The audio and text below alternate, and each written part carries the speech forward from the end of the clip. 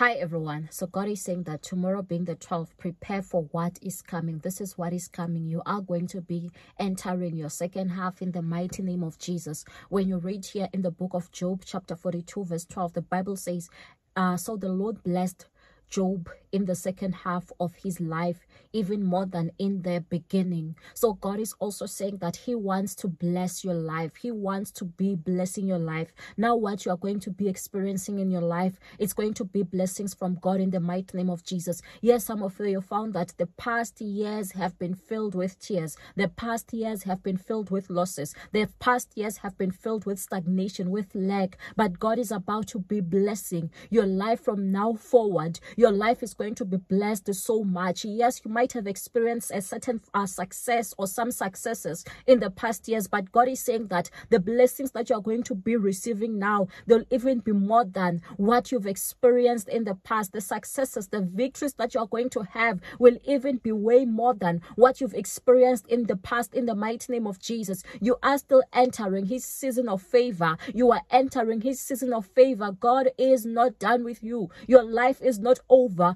God is about to make your life shine. God is still about to give you so much joy, so much joy and fulfillment in your life in the mighty name of Jesus. Amen.